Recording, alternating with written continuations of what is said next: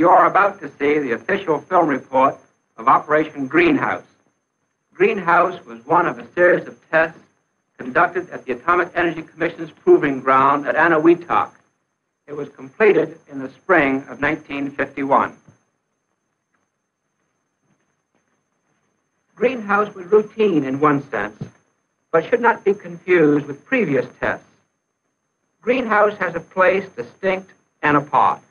While Crossroads tested the effects of atomic bombs and Sandstone concentrated on weapon improvement studies, Greenhouse was planned to further both of these achievements and more.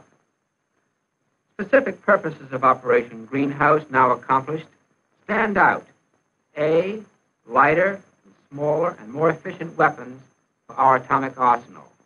B, offensive and defensive effects information on animals, structures, aircraft, tanks, and so forth. C, basic experiments of the thermonuclear problem. We believe this film to be a true presentation of the operation. It stresses underlying themes, the reasons for Greenhouse. It cannot always give credit to the thousands of individuals who made it possible. As commander of Joint Task Force 3, I invite you to see a documentary portrayal of an operation which many agencies and unnumbered men achieved in the Central Pacific, an atomic test.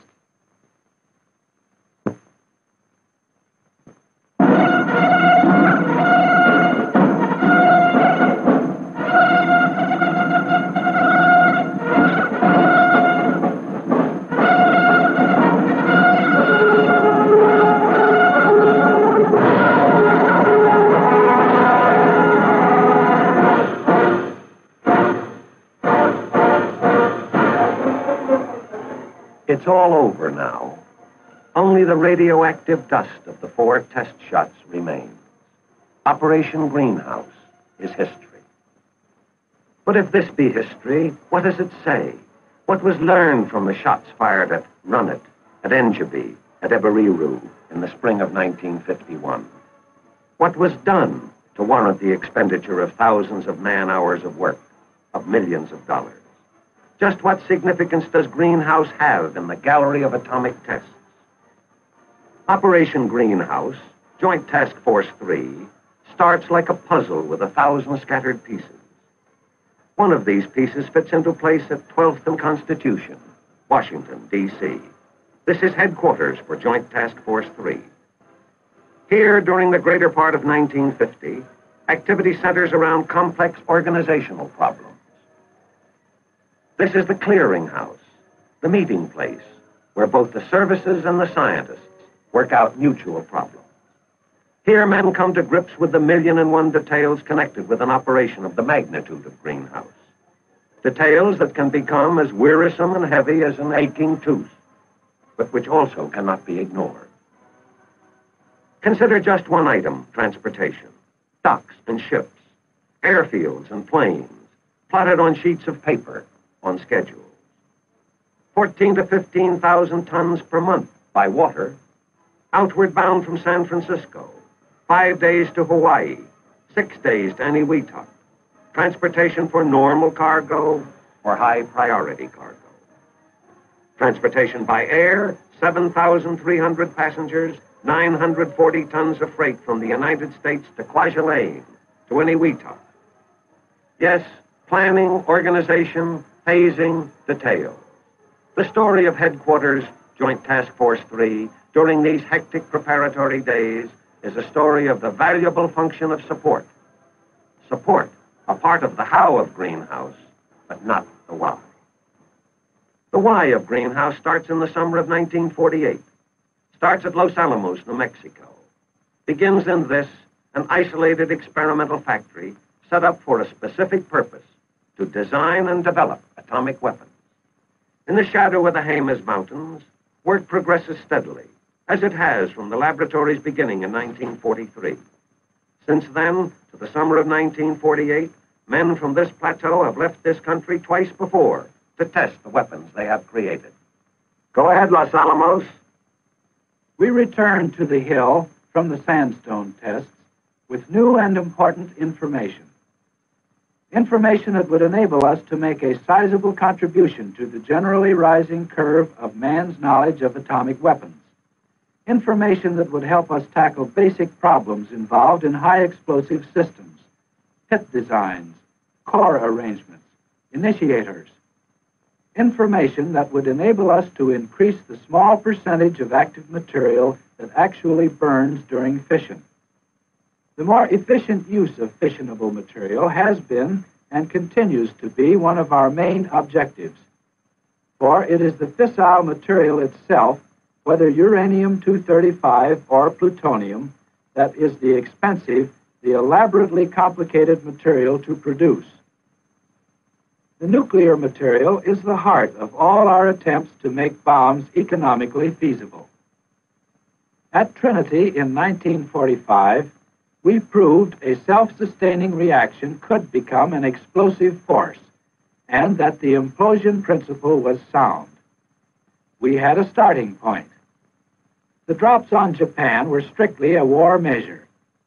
At Hiroshima, we tried the gun principle and also used uranium for the first time. The Nagasaki weapon was an implosion type using plutonium.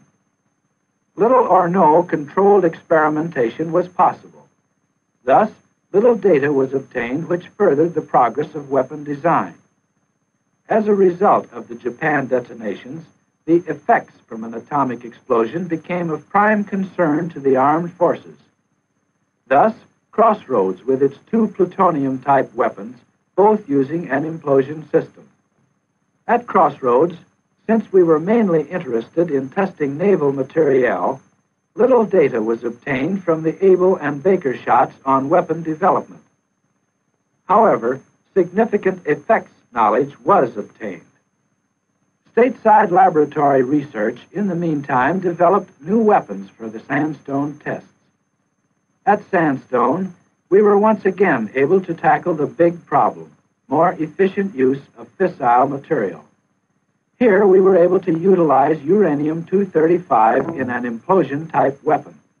So, as time went on, we had increased our knowledge of weapon design and had, therefore, increased yield per kilogram of active material.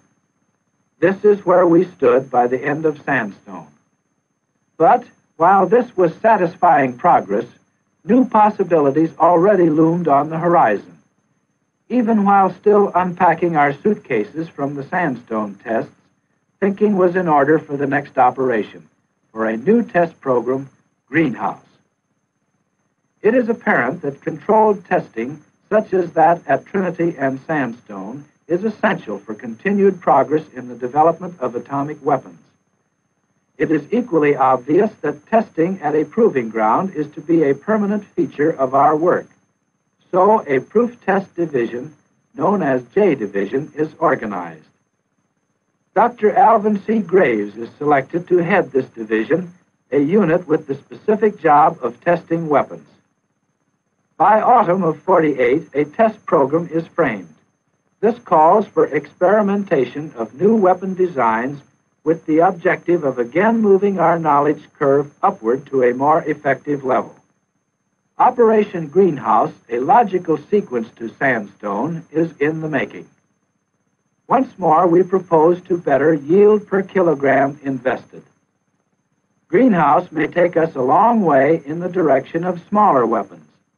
For the first time, deliverability in terms of size and weight is expected to make its mark in improved weapon design.